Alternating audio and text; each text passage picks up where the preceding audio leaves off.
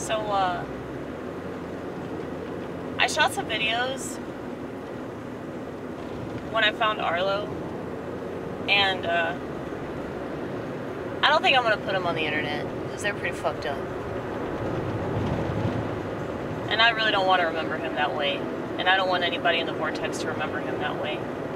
If you're familiar with this channel at all, you know that I shoot a lot of things that most people in their right mind would say, You're crazy for shooting that. Like a video of my dead cat. Um, so, I, I don't think that people need to see that because I think that that would fuck them up.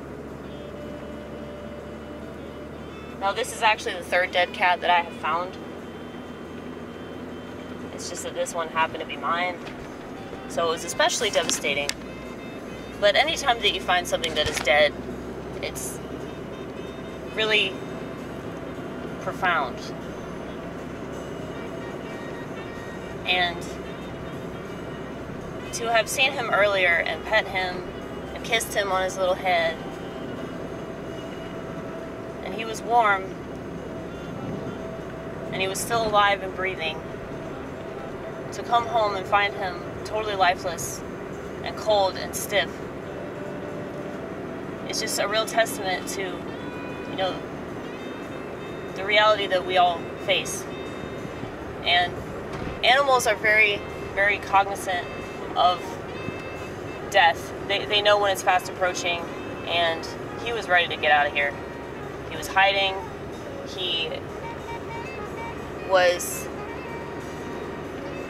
obviously not very happy. And not just because he was residing at my house, but I think that something severely messed up his intestines, not just his GI tract, but he was eating a lot of my clothes. And this is one of the reasons why I clean my house